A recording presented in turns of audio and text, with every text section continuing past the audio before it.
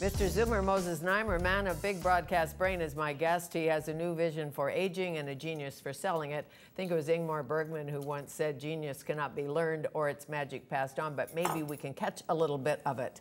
A little You're bit of sweet. genius. Um, I hope you won't mind. I, I want to correct something you said Yes. just as we went into the break. I don't mind. CARP, previously known as the Canadian Association of Retired Persons, today known as the Canadian Association of Relaxed, Refreshed, Recharged, and otherwise reinvigorated Hmm. Okay. persons. Because once upon a time, when I was growing up, Mm-hmm.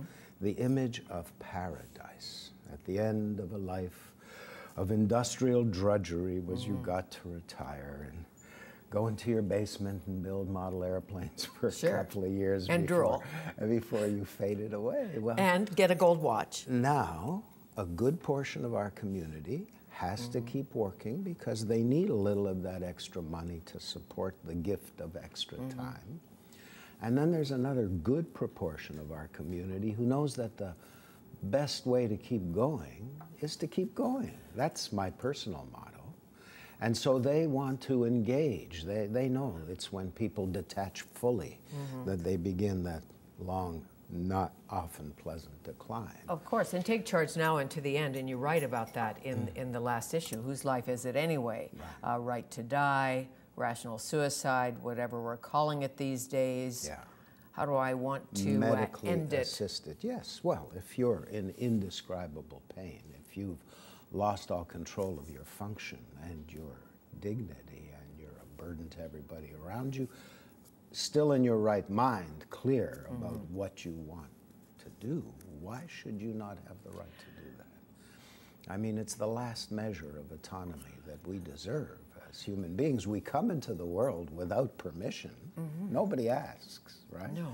I think, therefore, we should have the right Sure. of And we come decision. we come into the world kicking against the mainstream, pretty much, and we should continue to the end. Yes.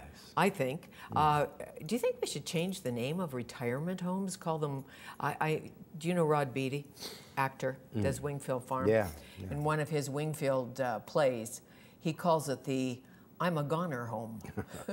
Before you go to the I'm a goner home, Yeah.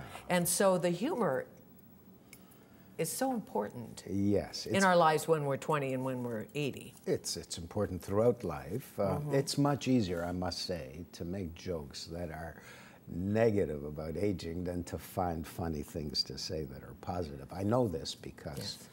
I am not just a pretty face, I right. am the cartoon and jokes editor at the magazine. I'm very proud of that. It's right there in the masthead. I saw it. Yes. Yes, and uh, And, and it's not that easy to find clever things. In fact, I wrote a chapter of my Zoomer philosophy about jokes and about the way in which the culture shades things through its jokes. And I have to admit, some of the jokes that are put downs of aging are, are hysterical. They're, they're, they're fabulous.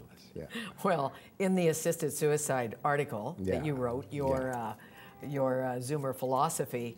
Uh, there's a doctor who says, "Well, before we try assisted suicide, Mrs. Rose, let's give the aspirin a chance."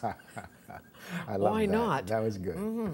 uh, so, as far as what's in this magazine, Mm-hmm. are you the top boss? Are you? I know you're not the editor, Mm-hmm. but you are the owner, right? Yep. That's uh, No, I, I'm clearly very engaged in the magazine, but I Mm-hmm. make my personal statement in the form of this ongoing Zoomer philosophy. When, when I first started to write it, i- it's quite the chore to get it out for every issue.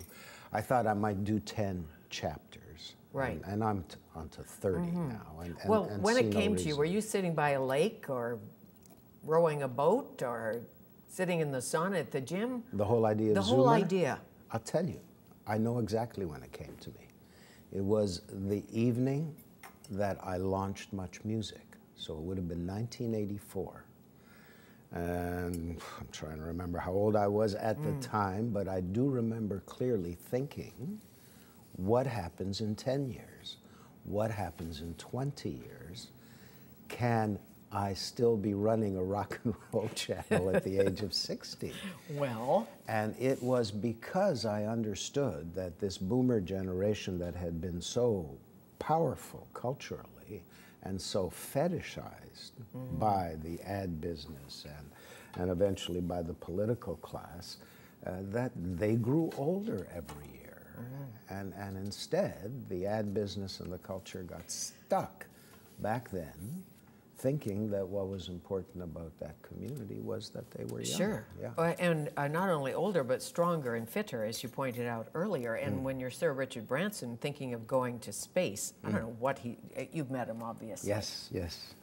Um, well, again, you, you, you've just opened the way to a fascinating discussion, but I think we're in a brave, weird new world full of healthy, fit seniors and obese, unfit juniors. That's what's going on in society. It's startling. But you do hear governments say things like, we can't afford them. What are we going to do? We've got all these healthy, fit seniors who still want to work, Yeah. and we simply can't afford them. Well, this is part of uh, uh, the issue that I take with the way in which aging is portrayed. As I said to you earlier in the interview, when it's discussed, it's often discussed as a problem. And it's, it's this image of uh, frail old people clogging the streets and breaking the bank. It's just not true. You know, it is true that the bulk of medical expenses paid out in support of anybody is in the last year of their life. But that's as true of a sick 20 year old as it is of a sick 80 year old. The actual cost push of this extra bulge of population amounts to single digit percentages. It's real, but it is not vast because the reality is that most people live healthy. And the current crop of older people are more health conscious, benefit from this better medicine. They live healthy longer. And I think the way all of us want to go is to just sort of fall off a cliff at the end mm-hmm. instead of having this long, difficult, painful, and costly Sure. decline. And who's got the money? The money lies with the grandparents, the money lies with the parents. And these are the people who will actually leave vast inheritances for the junior generations that are so busily complaining about their situation.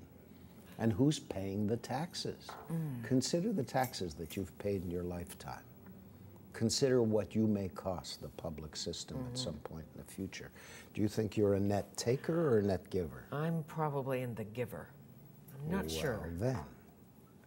I'm not sure. It Depends on the day. Uh, uh, but the whole changing uh, scenario here, the social media, the connection. I mean, no longer are we going to Sam the Record Man. Right. what impact will it have on on uh, Zoomers, on kids? Do you think? Uh, Facebook.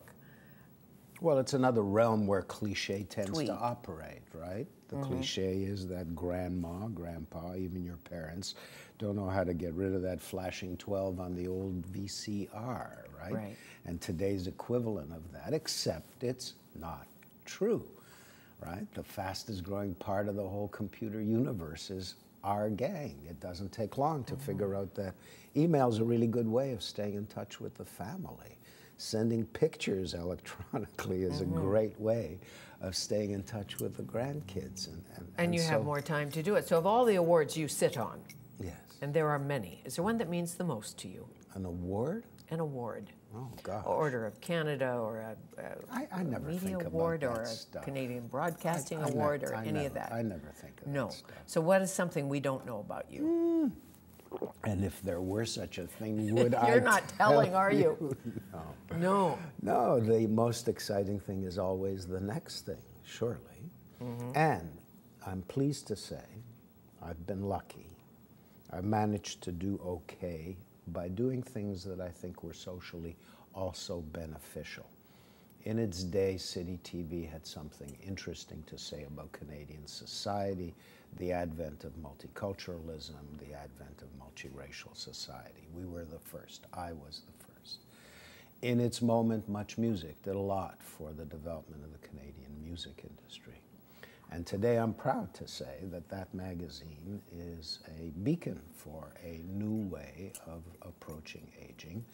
And so is Zoomer Television, which mm -hmm. is the subtitle for Vision TV, and so is Zoomer Radio. Well, I may hit you up for a job soon. Well, that's a good thought. Okay. If the people running this heard, place are foolish enough to let you go, because you are the ascendant wave, and any thinking they might have about replacing you is tired and old, and they should wake up. Okay, well then I'll just take that upstairs. You do that. While you're here, maybe. You tell them in I case they boot so. me right out. You tell them I, I thank so. you. I thank you. Moses Znaimer, uh, head of the Canadian Association of Retired Persons. Oh no, relaxed, refreshed, refreshed, recharged, recharged, recycled. Uh, remember, you can join me on Twitter at Fanny Kiefer or catch our conversations on YouTube. There will be many more visionary guests to come. Till then, thanks for watching Shaw TV and being with me today.